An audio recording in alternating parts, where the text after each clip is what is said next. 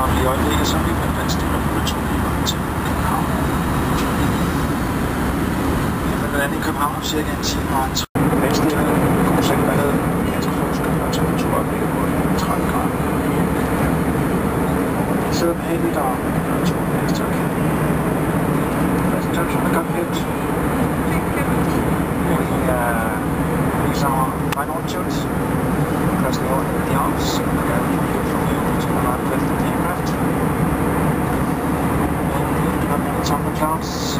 on that.